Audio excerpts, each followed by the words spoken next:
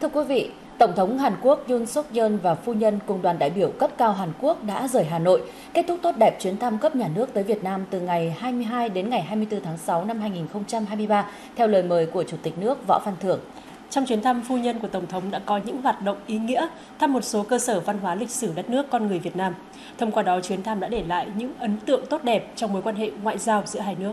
Và hình ảnh đón tiếp phu nhân Tổng thống Hàn Quốc đã nhận được rất nhiều sự đồng tình và chia sẻ từ cư dân mạng. Xuất hiện trong tà áo dài truyền thống màu xanh lục, phu nhân Tổng thống Hàn Quốc Kim Kyun Hee đã để lại những ấn tượng tốt đẹp với người dân Việt Nam. Theo văn phòng Tổng thống Hàn Quốc, áo dài bà mặc là món quà được phu nhân Chủ tịch nước Võ Văn Thưởng tặng.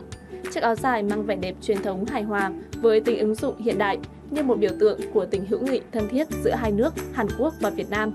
Chứng kiến những hình ảnh này, nhiều cư dân mạng đã bày tỏ sự yêu thích và dành những lời khen cho phu nhân Tổng thống Hàn Quốc.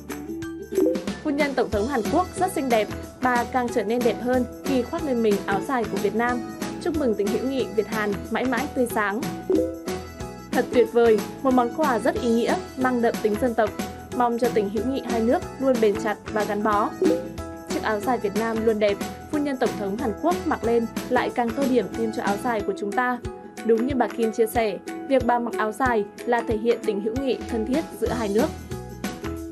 Trong khuôn khổ chuyến thăm cấp nhà nước của Tổng thống Hàn Quốc Yoon suk yeol đến Việt Nam, bà Phan Thị Thanh Tâm, phu nhân Chủ tịch nước Võ Văn Thưởng còn có dịp cùng bà Kim Kyun Hee, phu nhân Tổng thống Hàn Quốc Yoon suk yeol thưởng trà sen, xem biểu diễn áo dài và nghe hòa tấu nhạc dân tộc.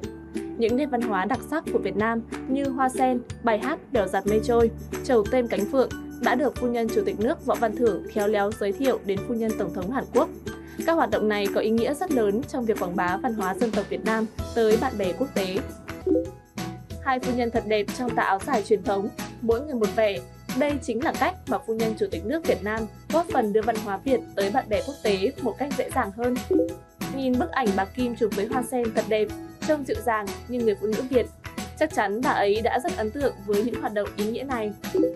Đã có rất nhiều lời khen dành cho hai vị phu nhân, nhưng mình vẫn muốn góp thêm. Quá đẹp, khung cảnh thưởng trà, nghe nhạc thật tao nhã. Hy vọng tình hữu nghị Việt Hàn luôn bền chặt như thế này.